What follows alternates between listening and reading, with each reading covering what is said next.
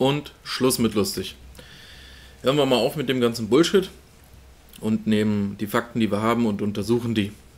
Und bei meiner Untersuchung der Fundstücke bediene ich mich nicht der Methode der drei Fragezeichen, sondern der Methode der vier Ws, die da wären wer oder was, war, wo und wann.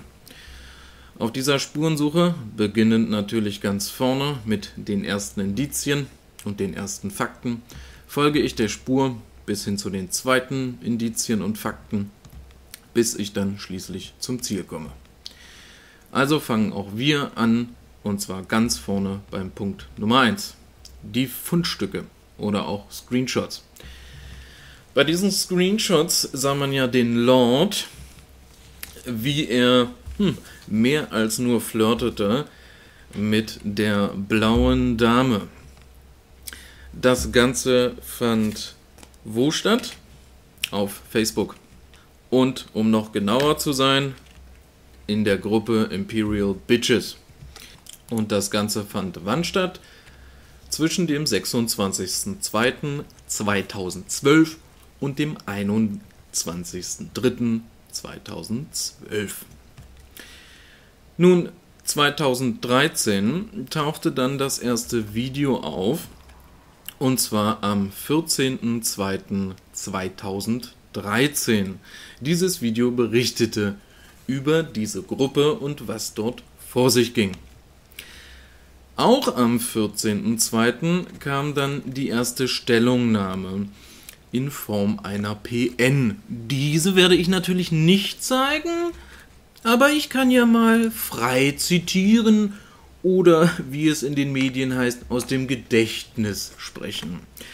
In dieser PN heißt es, dass der Lord die Gruppe nicht gegründet hätte, sondern wurde dort nur eingeladen und war dann Teil der illustren Runde und hätte nach seinem Beitritt in die Gruppe nach circa zwei Wochen, wenn ich mich recht erinnere, festgestellt, dass in dieser Gruppe eine junge Dame wäre, die unter 14 Jahre alt war. Und jetzt, natürlich nur wenn ich mich recht erinnere, möchte er nicht mehr, dass Videos darüber gemacht werden, unter anderem auch um die Damen zu schützen.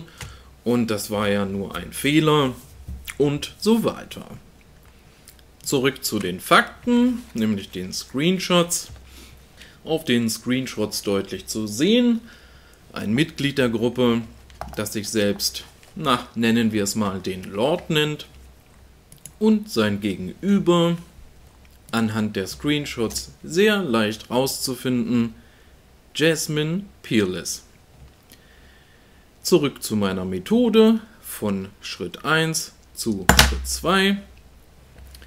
Das führt uns zu den Fundstücken Internet. Im Netz sehr einfach zu finden, wenn man Jasmine Peerless eingibt, ist ein Film. Und dieser Film trägt den Titel Anti-Acta-Demo, ein wirklich epischer Tag. Dieser Film ist von, wer hätte es gedacht, der blauen Dame. Und das Veröffentlichungsdatum dieses Films ist der 12.02.2012. Hm, und es zeigt unter anderem den Lord. Untersuchung, Fundstücke und Aussagen. Die vom Lord getroffenen Aussagen, dass er erst zwei Wochen nachdem er der Gruppe beigetreten sei, gemerkt habe, dass dort eine Dame ist, die unter 14 sei, können ohne Probleme mehr als angezweifelt werden. Wenn man nämlich vorher zusammen mit jemandem auf einer Demo ist, mit dieser Person den Tag verbringt, zusammen essen geht und dann auch noch den Abend zusammen verbringt, dann kennt man die Person und weiß bestimmt oder sogar garantiert auch, wie alt der andere ist. Somit passen dann die Aussagen vom Lord auch formal und inhaltlich kein Stück zu dem Inhalt des Videos. Untersuchung Zusammenfassung. Es wird nicht die Wahrheit gesagt vom Lord. Fazit der ganzen Geschichte. Lord, jetzt sind Sie dran. Was ist da genau passiert?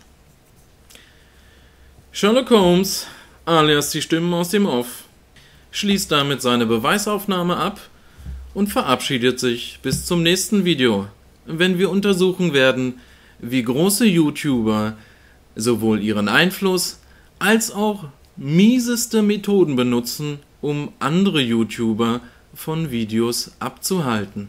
Na dann, tschüssi.